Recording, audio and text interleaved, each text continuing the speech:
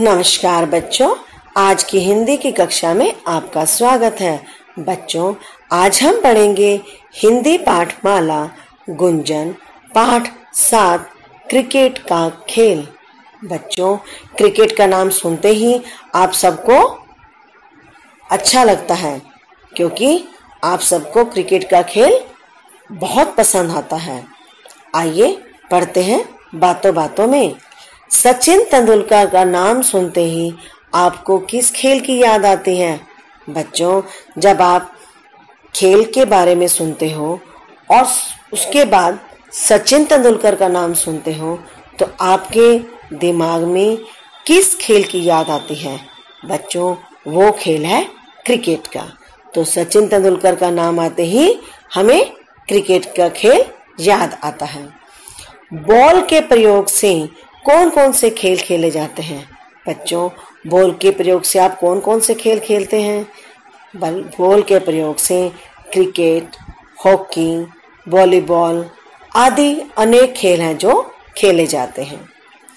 इस पाठ में क्रिकेट के खेल का इतिहास और उसके विषय में जानकारी दी गई है।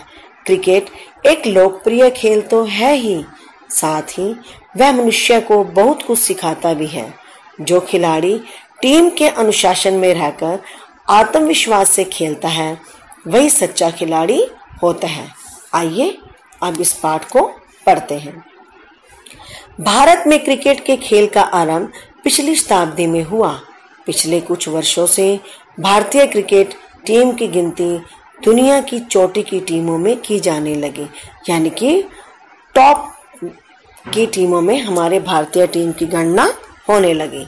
यह खेल दो टीमों के बीच खेला जाता है और हर टीम में 11 खिलाड़ी होते हैं। क्रिकेट के ग्राउंड पर घास लगी होती है। पहले मैदान तैयार करने के लिए कच्चे मैदान पर नारियल या पटसन की चटाई बिछाकर उस पर कीले ठोक दी जाती थी, लेकिन अब घास के मैदान पर ही खेल होता है। यानी कि बच्चों, जो पहले क्रिकेट के खेल का मैदान होता था उसको नारियल और पटसन की चटाई बिछाकर तैयार किया जाता था, लेकिन आधुनिक समय में इसे घास पर ही खेला जाता है। क्रिकेट की सबसे प्रमुख चीज़ें हैं बल्ला और गेंद। किसी भी टीम में दो तरह के खिलाड़ी होते हैं। कुछ वे जो बल्लेबाजी अच्छी कर लेते हैं और कुछ वे जो गेंदबाजी करना जानते हैं।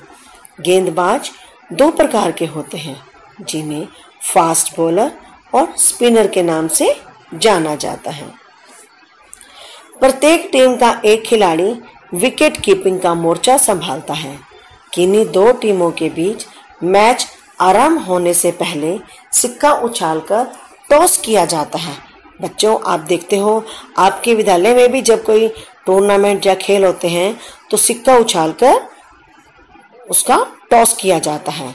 विजित टीम के कप्तान को बैटिंग या फील्डिंग चुनने का अवसर दिया जाता है। फील्डिंग करने वाली टीम के साथ सभी खिलाड़ी मैदान में आते हैं, जबकि बैटिंग करने वाली टीम के केवल दो खिलाड़ी।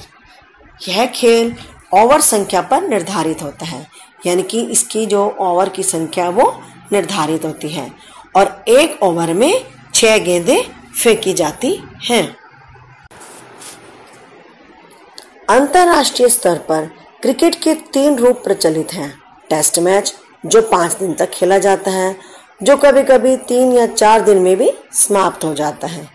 एक दिवसीय मैच, जिसमें दोनों टीमें अधिकतम 50-50 ओवर खेल सकती हैं, और टी ट्वेंटी, जिसमें 20-20 ओवर खेलने होते हैं। टेस्ट मैच में क्रिकेट खिलाड़ी की पोशाक, सफ़ेद कमीज सफ़ेद पतलून, ऊन के मोटे सफ़ेद मोजे और क्रिकेट के सफ़ेद बूट होते हैं। इन बूटों के नीचे कीले लगी होती हैं, जिससे घास के मैदान पर उनकी अच्छी पकड़ बनी रहे। तो बच्चों, आज हमने क्रिकेट के खेल का इतिहास जाना। इस पाठ का शेष भाग हम अगले लेक्चर वीडियो में पढ़ेंगे। आप इस लेक्चर वीडियो को ध्यान से सुनिए और समझिए। धन्यवाद।